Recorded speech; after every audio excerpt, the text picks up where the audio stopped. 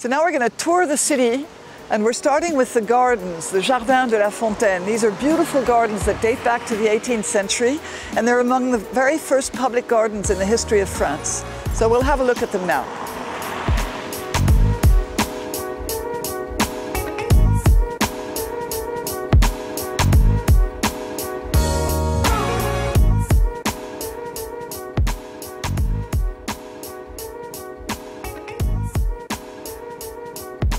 This elegant Roman ruin is known as the Temple of Diana, even if today we think it probably was a library.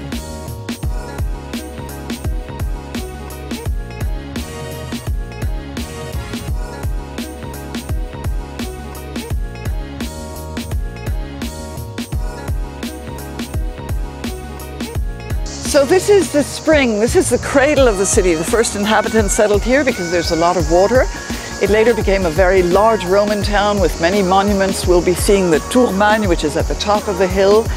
And in the 18th century, they rediscovered the remains of a Roman sanctuary and they decided to design a, this beautiful garden, which is very popular for visitors and also for the inhabitants of Nîmes.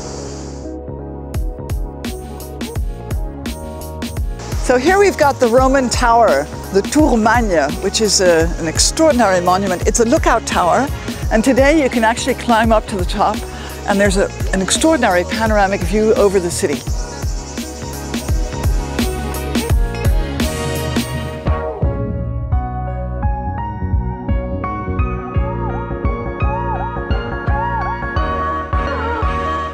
And this is the Roman amphitheater.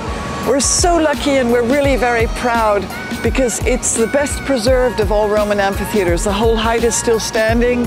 It's 1900 years old, and in Roman times it was used for gladiator fights, obviously, but um, today we also use it for shows. It's a, it's a place you can visit, and uh, there are regularly shows that are held inside the amphitheater.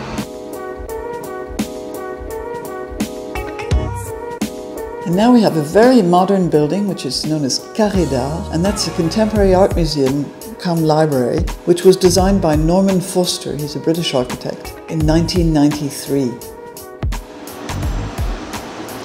And here we're on the terrace restaurant of the top of Carré d'Art, the Contemporary Art Museum, with a lovely view over our next uh, stop, which is going to be the Maison Carrée, this beautiful Roman temple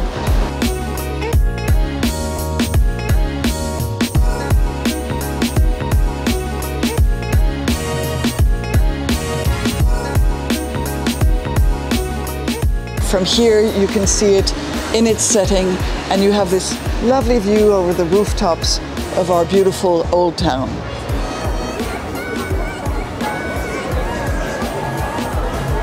This really seems like a rather exotic creature, but actually it is part of the coat of arms of the city of Nîmes.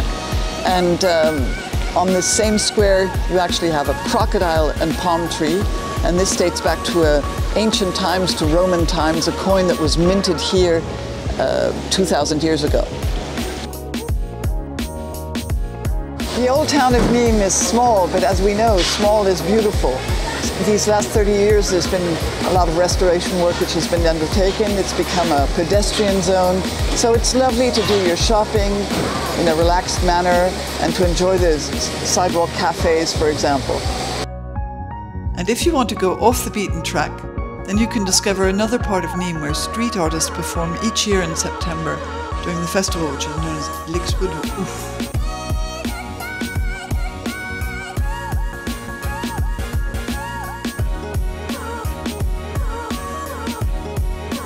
And if you hire a guide of Nîmes, you will even be able to visit these uh, townhouses which are fascinating because this one, for example, here dates back to the 17th century. So you'll get a glimpse of the interior of these houses and with this absolutely beautiful atmosphere. Heart of Nîmes. We're in France, food is so important. And this is known as Halles. It's the covered market. And you can find anything you like, from cheese to meat to vegetables, wine. And of course, it's summer right now, so you have melon, you have tomato, you have all these wonderful local products that you can enjoy.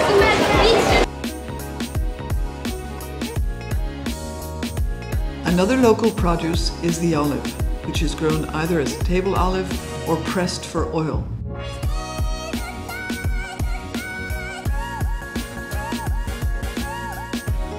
The area south of Nîmes is known as the Costière, and that's where our very nice wines of the appellation Costières de Nîmes are grown. You can find all three colors, and these lovely fruity wines are to be enjoyed. Here we are in Saint-Gilles. This is just a, a short half hour away from Nîmes. You can even get here by bus. And this is a masterpiece of uh, Romanesque architecture. It dates back to the 12th century with all this beautiful carving uh, that are the remains of a major abbey that existed here in the Middle Ages. If you want to go hiking or biking, there is a whole diversity of landscapes around Nîmes to discover, with many natural and historic treasures, such as the Gorges du Gardon or the local scrubland, which is known as Garrigue, dotted with its fascinating capitelle. And those are dry stone huts